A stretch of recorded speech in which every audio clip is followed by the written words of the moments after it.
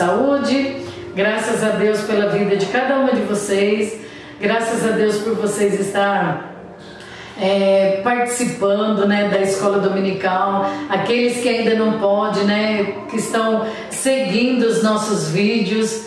Que Deus os abençoe grandemente. Que Deus supra todas as suas necessidades. Criança, hoje nós vamos estar aqui no nossa, na nossa terceira lição desse quarto trimestre. Graças a Deus estamos acabando este ano de 2020, né? É, estamos já no quarto trimestre, né? Daqui a pouco aí já é Natal, já é Ano Novo, né? Os dias estão é, corridos, né? E louvamos a Deus por nós estarmos aqui. Louvamos a Deus pela vida de vocês que nos assiste daí, né? Eu daqui, vocês daí e todos nós juntos buscando a Deus, buscando a sua paz e a sua alegria, porque só Ele que tem para nos dar, amém? Crianças, hoje nós estamos então na nossa terceira lição, pelo título Novos Amigos à Vista. Ah, o nosso texto áureo diz assim, ó. Disse-lhe Jesus: Venham comigo, que eu ensinarei vocês a pescar gente. Nossa tia, mas como pode? A pescar gente? Como assim? A gente sabe que pesca peixe, mas pescar gente? Como, tia? Então nós vamos assim dar início à nossa lição de hoje, né? Nossa lição número 3. E olha só, crianças, a estava ali na, na, no mar da Galileia é, dois jovens, sendo eles irmãos, que era Simão, Simão Pedro, né? E André. E eles estavam pescando é, na, lá no, no na, perto, perto do mar da Galileia. Eles moravam numa cidadezinha lá perto chamada de Cafarnaum. Cafarnaum ficava à beira-mar da Galiléia. Então, essa profissão antigamente, como ainda é hoje, é uma profissão muito boa, né, dos pescadores. Porque, tia, além deles levarem o alimento para casa, eles podiam vender os peixes que eles pescavam e, e, e eles eram, eles faziam o quê? Eles é, traziam mantimento, a necessidade para suprir a necessidade deles. Então, além deles comerem os peixes, eles vendiam e também davam aos seus amigos, seus familiares. Então estava ali André, né? E, e, e Simão Pedro. Olha só, a, aquela a profissão é, que eles trabalhavam, né, essa profissão de é, pescador, ela era muito valorizada naquela época. Então, crianças, eles conheciam ah, algumas é, habilidades do mar, eles tinham também algumas habilidades para estar ali no mar é, pescando. Ele sabia que dia que ah, se era noite, se era durante o dia que eles iam conseguir pescar mais peixes. Ele sabia é, é, qual era a profundidade que tinha peixes maiores e outros peixes menores. Então, assim, essas habilidades eles foram adquirindo com o tempo em que eles trabalhavam de pescadores. Olha só, aqui, crianças, na, na nossa lição de hoje, nós vamos falar assim que nós vamos conhecer, né? Falar não, conhecer que o, o mar lá da, da Galileia, onde eles ficavam, né? É, eles, eles estavam perto do, do, do mar da Galileia. Eles moravam perto do mar da Galileia, numa cidadela chamada Cafarnaum. Então, quando eles estavam lá no mar pescando, e de repente, crianças, o que que acontece? Passa Jesus. Passa Jesus que estava escolhendo, né, chamando os seus discípulos, Jesus tinha os seus critérios que aos nossos olhos nós não conseguimos entender, né? Quando ele chamou os seus doze discípulos. E Simão, Pedro e André, que eram irmãos,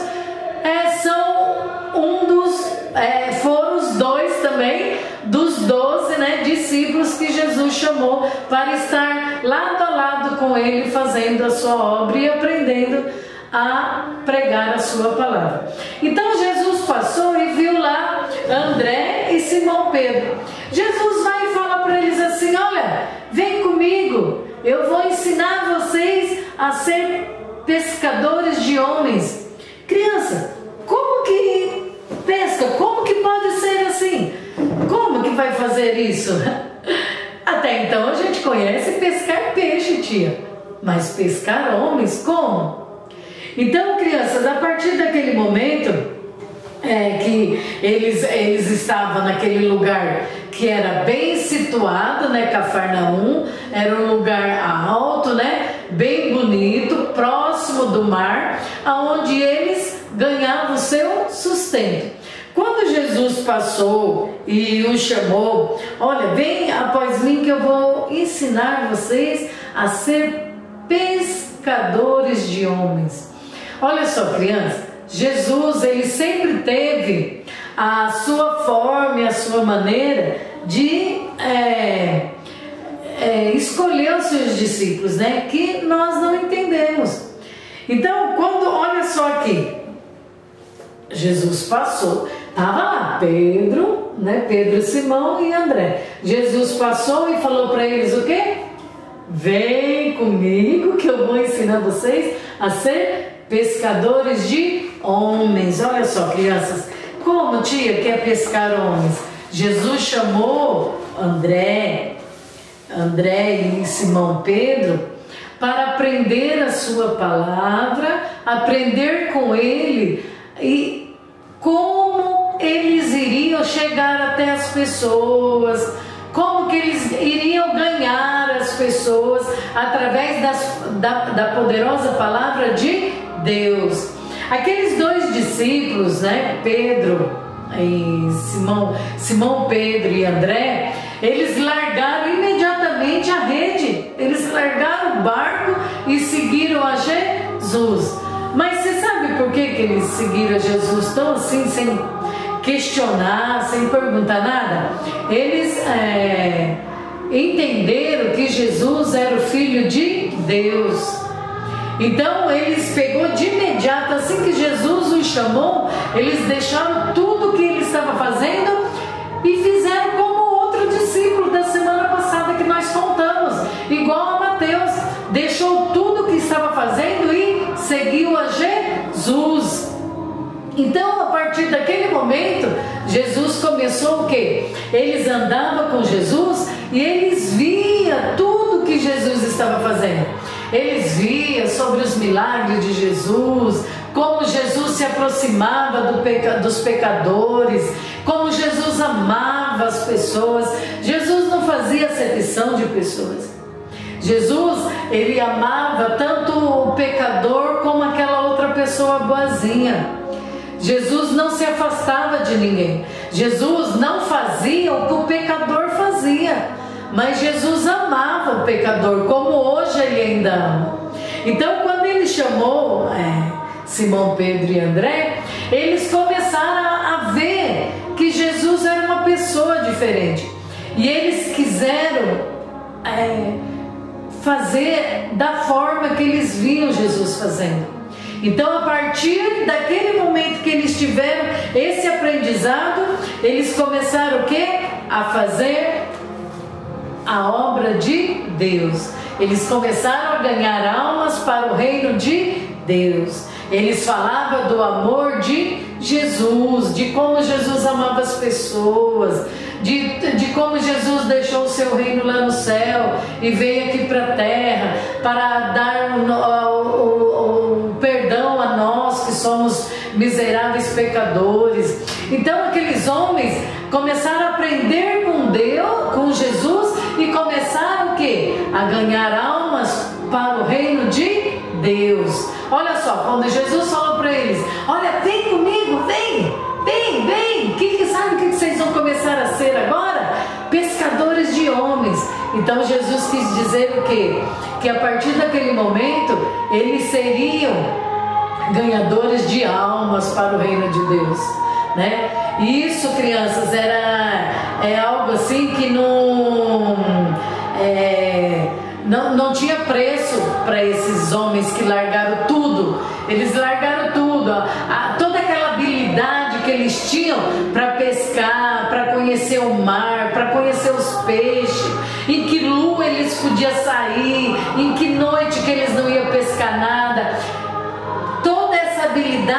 Que Pedro Simão, Pedro, é, Simão Pedro e André tinha, Jesus usou começou a trabalhar neles essa habilidade para que eles pudessem trabalhar para o reino de Deus. Olha só, crianças, quando Jesus nos escolheu também, nós tínhamos a nossa habilidade, cada um nasceu com um talento, né? Cada um de nós nascemos com um talento. E quando Jesus nos chamou, é, quando nós aceitamos a Jesus, ele começou a trabalhar a desenvolver essas habilidades em nós, de amar o próximo, de perdoar, né, de não fazer acepção de pessoas, de não perseguir os nossos amigos, sabe aquelas pessoas que falam mal de nós? Porque se nós perseguimos ela e começar a tratar elas da mesma maneira que elas nos tratam, mal por mal, que mérito nós vamos ter? Nós não vamos estar fazendo, agindo como filhos de Deus. Então nós temos que ser o quê? Pessoas diferentes. Pessoas, nós temos que ser pessoas assim como Jesus foi. Olha só, Jesus foi uma pessoa amável.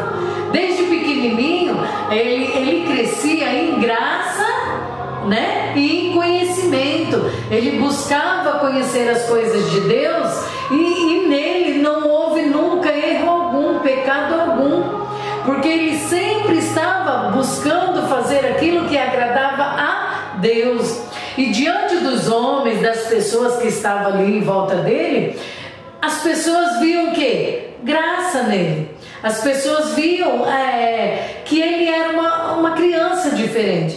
As pessoas viam que existia amor nele, que existia é, empatia, né? Jesus estava sempre é, to, é, tomando o lugar do outro, assim, na questão de dores, né? Jesus estava sempre fazendo pelo outro é, é, aquilo que ele queria, gostaria que fizesse por ele também. Então, crianças, hoje que nós possamos é, guardar esse aprendizado e saber, crianças, que nós não estamos é, servindo a Deus é, porque a gente quer, ou ah, porque eu não tenho outra coisa para fazer, ah, porque minha mãe quer que eu vou para a igreja, ah, porque minha avó quer me levar para a igreja. Não. Deus tem um chamado na nossa vida, que é para nós trabalharmos para o seu reino, ganhar almas aonde a gente estiver. Olha só que coisa linda, criança. Quando a gente. É, nós chegamos num, num, numa classe, né? Numa classe de alunos. Lá tem todo tipo de, de criança. Tem a criança que é moreninha, a criança que é loirinha, tem aquele que é japonesinho, tem aquele que é bem é, alemãozinho, bem clarinho, cabelo loiro, tem aquele que tem o cabelinho preto, tem aquele que tem o cabelinho enroladinho. Jesus se agrada se nós ficarmos fazendo acepção, ah, esse é meu amigo, esse eu não gosto. Ah, esse aqui faz coisa errada, eu não gosto dele. Jesus se agradaria disso? Não. Jesus quer que nós façamos o que? A diferença. Jesus quer que nós nos abracemos todos iguais. Jesus quer que você seja amigo de todos, seja no meio da sua família, seja no grupo da igreja, seja lá na sua classe, na escola, no colégio onde você estuda. Jesus quer que você faça a diferença. Às vezes você vai ter uma oportunidade de falar do amor de Jesus. E às vezes você não vai ter essa oportunidade, mas através do seu comportamento, das suas atitudes que provavelmente ela será diferente de, de, de outras pessoas, de outras crianças, as crianças vão querer o quê? Saber por que, que você é assim, por que, que você é tão bonzinho. Nossa, ai, eu gosto tanto daquela menina, daquele menino, ele é tão bonzinho. Ah, eu quero andar ele, eu quero. Nossa, ele me ajuda lá na classe. Aquela lição que a professora dá e eu tô com dificuldade lá em matemática ou para entender algum desenvolvimento do texto né? Alguma interpretação do texto. Ah, eu tô com uma dificuldade. Nossa, mas aquele amigo ali, ele é bom nessa matéria. Oh, amigo, dá uma força aqui para mim, você pode me ajudar? Então, isso é agradável a Deus. Né? Isso, criança, Deus se agrada quando nós agimos diferente. Quando nós não é, buscamos amizade só por conveniência, mas buscamos amizade porque queremos estar todos juntos, todos é, fazendo a mesma coisa, né? Eu não vou amar mais esse por aquilo que ele tem para me dar ou para me ajudar, mas eu vou amar ele por ele ser uma pessoa que Foi Deus que permitiu que ele nascesse. Ele é uma obra de Deus. Tia, mas ele não vai para a igreja, ele é bagunceiro. Mas ele é uma obra de Deus. Ele foi feito à semelhança de Deus. Nós, nós todos fomos feitos. A, a, quando Deus falou para Adão, façamos o homem a nossa imagem e semelhança, são todos os nós, todos nós, não foi só a, quando Deus falou, façamos o homem a, a nossa imagem e semelhança e criou Adão, não foi só Adão que foi feito a imagem e semelhança de Deus, fomos todos nós. Então, para nós agradarmos a Deus, nós temos que amar aquilo que Ele criou. Então, crianças, seja diferente, faça diferente ama o seu próximo, seja uma boa companhia para todos que estiverem ao seu redor. Hoje a gente não pode estar muito pertinho por conta do isolamento social, mas mesmo assim, no isolamento, você pode ser uma pessoa agradável. Eu posso ser uma pessoa agradável, porque nós temos o, o, o Espírito de Deus. E o Espírito de Deus é aquele que nos ensina a nos comportar diferente. Amém? Que eu e você façamos a diferença. Que eu e você, que, que o mundo, que todas as pessoas possam ver o brilho de Cristo em nós. As atitudes boas de Cristo em nossas vidas. Amém? Conto com você, hein? Vai lá no nosso canal, AD, AD se, a D Angelical Kids, dá um likezinho. Se inscreva lá, crianças. Convide as pessoas para se inscrever no nosso canal, AD Angelical Kids, né? Oficial. E ali vocês vão estar recebendo nossos vídeos da escola dominical, como também vão estar recebendo outros trabalhos das nossas crianças, tá bom? Olha só, conto com vocês dia 24, dia 24 é, teremos o nosso culto aqui presencial com as crianças, né? O nosso congresso somente com as crianças local por conta do isolamento, né, social. Não vamos poder convidar as outras igrejas. Né? É tão gostoso ter a igreja cheia de criança, mas dessa vez a gente não vai poder fazer, né? Por conta do distanciamento que tem que ter, né? De, de uma pessoa para outra. Mas eu conto com você que está aí me assistindo. Vem aqui na, é, prestigiar o trabalho das nossas crianças. Com certeza Deus falará contigo. Amém? Que Deus vos abençoe. Que ao chegar esse vídeo em sua casa, você possa realmente olhar para dentro de você, reconhecer, a, a, é, observar se as suas atitudes têm sido ou não agradáveis a Deus. Amém? Vamos orar ao Senhor? Eterno e soberano Deus, te damos graça por esta oportunidade, te damos graça, Senhor, pelo teu Espírito Santo que nos alerta em todo o tempo, que nos ajuda, Pai, que nos faz querer ser pessoas melhores, Pai. Nos ajude, Senhor, a ter empatia pelo nosso próximo, nos ajude a nos pôr, Pai, no lugar do nosso próximo em seu sofrimento. Nos ajude, Senhor, para a glória do Teu nome santo. Conforta e alegra o coração de cada uma das crianças, de cada familiar que está assistindo esse vídeo, Senhor, para a glória do Teu nome. Amém. Crianças, um abraço bem forte em cada um de vocês, sabe? Aquele abraço virtual, aquele abraço virtual, mas um abraço cheio de amor e de carinho, amém? Eu amo vocês em Cristo Jesus. A paz do Senhor, a paz do Senhor.